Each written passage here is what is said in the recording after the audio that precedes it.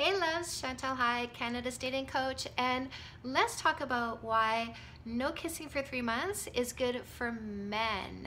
Now, there's two different types of mindsets. There's guys or girls, which is selfish short-term thinking, and then there's men or women, which is generous long-term thinking. And by the way, I don't judge if you're in a selfish short-term thinking frame of mind. I've been there myself.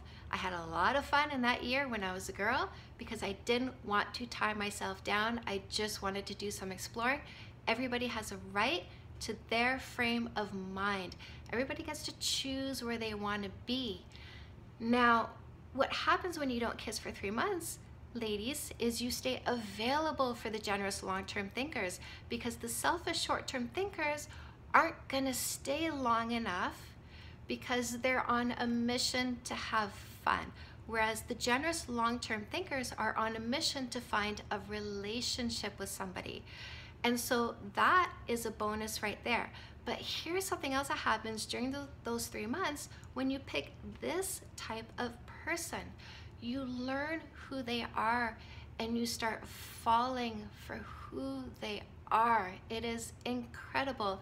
And sometimes when you first meet somebody, there isn't that physical attraction. There isn't the thunderbolt and lightnings that we've been told should be there. You know what they call it? That spark.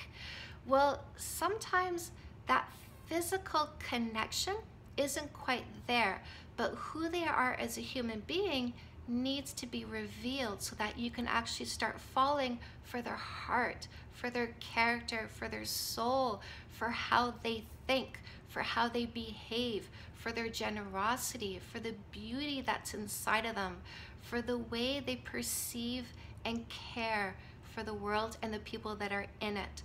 So I want you to give these ones a chance if you're looking for a relationship and that means no kissing for three months means these ones are going to take themselves out of the equation and these ones are going to get a chance to be seen for the incredible human beings they are.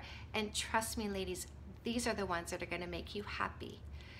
Now, if you're having trouble with dating, you do want to pick up a copy of my book, No More Assholes, because I walk you through the process. There are seven steps to getting from where you are, which is how am I going to find this one, to in this relationship with that incredible human being. You can find it on Amazon, Barnes & Noble, anywhere where you buy books online. Go pick up a copy. It is waiting for you so that you can unfold all this love that's in the world. I love you guys, and I'll talk to you soon.